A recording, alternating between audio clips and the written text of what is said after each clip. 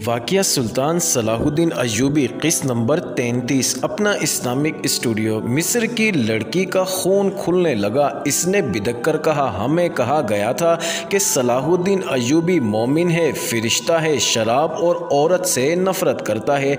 मुझे अब इसी के पास ले जाया जा रहा है, लड़की ने कहा। अगर तुम्हें यकीन ना आए तो रात को देख लेना कि मैं कहाँ रहूँगी, वो मुझे कैद खाने में नहीं डालेगा, अपने हरम में रख लेगा।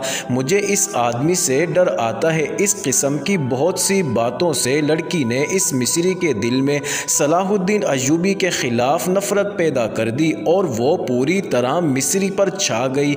इसके दिल और दिमाग पर कब्ज़ा कर लिया। मिस्री को मालूम नहीं था कि यही इन लड़कियों का हथियार है। लड़की ने आखिर में कहा, अगर तुम मुझे इस जलील ज़िंदगी से निजात दिला दो तो मैं हमेशा के लिए तुम्हारी हो जाऊँगी और मेरा बाप तुम्हें सोने की अशरफियों से माला माल कर देगा। उसने उसका तरीका ये बताया, मेरे साथ समंदर पार भाग चलो। किश्तियों की कमी नहीं, मेरा बाप बहुत अमीर आदमी है, मैं तुम्हारे साथ शादी कर लूँगी। और मेरा बाप तुम्हें नहायत अच्छा मकान और बहुत सी दौलत दे देगा। तुम तिजारत कर सकते हो। नाजरीन, मिस्री को ये याद रह गया कि वो मुसलमान है। इसने कहा कि वो अपना मज़हब तर्क नहीं कर सकता लड़की ने ज़रा सोच कर कहा, मैं तुम्हारे लिए अपना मज़हब छोड़ दूँगी। इसके बाद वो फ़रार और शादी का प्रोग्राम बनाने लगे। लड़की ने इसे कहा, मैं तुम पर ज़ोर नहीं देती। अच्छी तरह सोच लो। मैं सिर्फ़ जानना चाहती हूँ कि मेरे दिल में तुम्हारी जो मोहब्बत पैदा हो गई है, इतनी तुम्हारे दिल में भी पैदा हुई है या नहीं? अगर तुम मुझे कबूल करने पर आमादा हो सकते हो तो सोच लो और कोशिश करो। कि काहिरा तक हमारा सफ़र लंबा हो जाए। हम एक बार वहाँ पहुँच गए। फिर तुम मेरी बू भी नहीं सूंघ सकोगे। लड़की का मकसद सिर्फ़ इतना सा था कि सफ़र लंबा हो जाए और तीन दिनों की बजाय छः दिन रास्ते में ही गुजर जाएँ। इसकी वजह यह थी कि रॉबिन और इसके साथी फरार की तरकीबें सोच रहे थे। वो इस कोशिश में थे कि रात को सोए हुए मुहाफिजों के हथियार उठाकर इन्हें कत्ल किया जाए, जो नामुमकिन सा काम था या उनके घोड़े चुराकर भागा जाए, अभी तो पहला ही पड़ाव था। उनकी ज़रूरत ये थी कि सफ़र लंबा हो जाए ताकि इतमान से सोच सकें और अमल कर सकें। इस मकसद के लिए उन्होंने इस लड़की को इस्तेमाल किया। वो मुहाफिजों के कमांडर को कब्ज़े में ले ले। लड़की ने पहली मुलाकात में ही ये मकसद हासिल कर लिया और मिस्री को मुँह मांगी कीमत दे दी। मिस्री कोई ऐसा बड़ा रुतबे वाला आदमी नहीं था मामूली सा अहदेदार था। इसने कभी ख्वाब में भी इतनी हसीन लड़की नहीं देखी थी। कहाँ एक जीती, जागती लड़की जो इसके तस्वुरों से भी ज़्यादा खूबसूरत थी, इसकी लोंडी बन गई थी। वो अपना आप, अपना फ़र्ज़, अपना मज़हब भी भूल गया। वो एक लम्हे के लिए भी लड़की से अलग नहीं होना चाहता था। इस पागलपन में उसने सुबह के वक्त पहला हुक्म ये दिया कि जानवर बहुत थके हुए हैं। लिहाजा आज सफ़र नहीं होगा। मुहाफिजों और शुतरबानों को इस हुक्म से बहुत खुशी हुई। वो महाज की सख्तियों से उकताए हुए थे।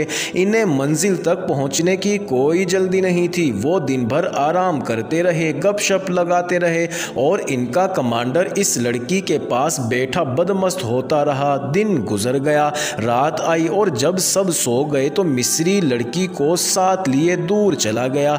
लड़की ने उसे आसमान पर पहुँचा दिया। सुबह जब ये काफिला चलने लगा तो मिस्री कमांडर ने रास्ता बदल दिया। अपने दस्ते से इसने कहा कि इस तरफ़ अगले पड़ाव के लिए बहुत खूबसूरत जगह है।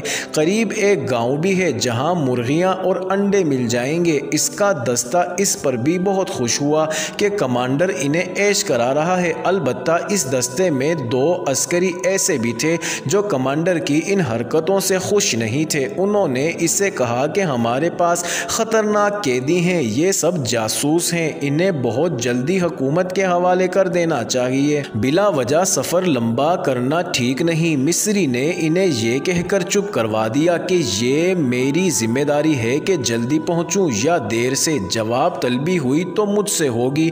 दोनों खामोश हो गए, लेकिन वो अलग जाकर आपस में खुसर फुसर करते रहे। दोपहर के बाद इन्हें दूर आगे बहुत से गिद्ध उड़ते और उतरते नज़र आए। ये इसकी निशानी थी कि वहाँ कोई मुर्दार है। वो इलाका मिट्टी और रेत के टीलों का था, सहराई दरख्त भी थे। चलते चलते वो इन टीलों में दाखिल हो गए। रास्ता ऊपर होता गया और एक बुलंद जगह से इन्हें एक मैदान नज़र आया, जहाँ गिदों के गोल उतरते हुए शोर बर्पा कर रहे थे। ज़रा और आगे गए तो नज़र आया कि कोई लाशें हैं। बदबू भी थी। ये उन सोडानियों की लाशें थीं जो बहरा रूम के साहिल पर मुकीम सुल्तान अयूबी की फ़ौज पर हमला करने चले थे। सुल्तान अयूबी के जानबा सवारों ने रातों के इन अकबी हिस्से पर हमले करके ये किश्तो खून किया और सुडानी फ़ौज को तितर बितर कर दिया था। यहाँ से आगे मीलों वसत पर लाशें बिखरी हुई थी। सुडानियों को अपनी लाशें उठाने की मोहलत नहीं मिली थी। कैदियों और मुहाफ़ों का काफिला चलता रहा और ज़रा सा रुख बदल कर लाशों और गिदों से हट गया। काफिला जब वहाँ से गुजर रहा था तो उन्होंने देखा कि लाशों के इर्द गिर्द उनके हथियार भी बिखरे हुए थे। इनमें कमाने तुरकश थे बर्चियाँ तलवारें और ढाले भी थी। कैदियों ने ये हथियार देख लिए। उन्होंने आपस में बातें की और रॉबिन ने इस लड़की से कुछ कहा, जिसने मिस्री कमांडर पर कब्जा कर रखा था। लाशें और हथियार दूर दूर तक फैले हुए थे। दाएँ तरफ़ टीलों के करीब सरसब्ज जगह थी। पानी भी नज़र आ रहा था। सब्जा टीलों के ऊपर दग गया हुआ था। लड़की ने कमांडर को इशारा किया तो वो इसके करीब चला गया। लड़की ने कहा यह जगह बहुत अच्छी है, यहीं रुक जाते हैं। मिस्री ने काफले का रुख फेर दिया और सरसब्ज टीले के करीब पानी के चश्मे पर जा रुका। रात यहीं बसर करनी थी। सब घोड़ों और ऊँटों से उतरे, जानवर पानी पर टूट पड़े। रात गुजारने के लिए अच्छी जगह देखी जाने लगी। दो टीलों के दरमियान जगह कुशादा भी थी और वहाँ सब्ज़ा भी था। यही जगह मुंतखब कर ली गई। जब रात का अंधेरा गहरा हुआ तो सब सो गए। मिस्री जाग रहा था और लड़की भी जाग रही थी। इस रात इसे ख़ास तौर पर जागना और मिस्री कमांडर को पूरी तरह मदहोश करना था। इसे जब खराटों की आवाज़ें सुनाई देने लगी तो वो मिस्री के पास चली गई। इसी लड़की की खातिर वो सबसे अलग और दूर हटकर लेटा था। लड़की इसे टीले की ओट में ले और वहाँ से और ज़्यादा दूर जाने की ख्वाहिश। ज़ाहिर की, मिस्री इसकी ख्वाहिशों का ग़ुलाम हो गया। इससे एहसास तक ना हुआ कि आज रात लड़की उसे एक ख़ास मकसद के लिए दूर ले जा रही है। वो इसके साथ साथ चलता रहा और लड़की इसे तीन टीलों से भी परे ले गई। वो रुकी और मिस्री को बाहों में ले लिया। मिस्री बेखुद हो गया। उधर रॉबिन ने जब देखा कि कमांडर जा चुका है और दूसरे मुहाफिज गहरी नींद सोए हुए हैं। तो इसने लेटे लेटे अपने एक साथी को जगाया। उसने साथ वाले को जगाया। इस तरह रॉबिन के चारों साथी जाग उठे। मुहाफिज उनसे ज़रा दूर सोए हुए थे। मिस्री कमांडर को लड़की ने इतना बेपरवाह कर दिया था कि रात को वो संतरी खड़ा नहीं करता था। पहले रॉबिन पेट के बल रेंगता हुआ मुहाफिजों से दूर चला गया। इसके बाद इसके चारों साथी भी चले गए।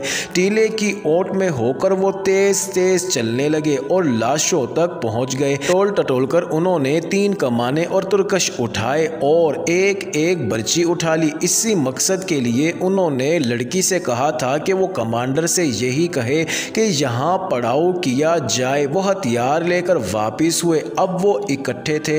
वो सोए हुए मुहाफिजों के करीब जा खड़े हुए। रॉबिन ने एक मुहाफिज के सीने में बर्ची मारने के लिए। बर्ची ज़रा ऊपर उठाई। बाकी चार भी एक एक मुहाफिज के सर पर खड़े थे।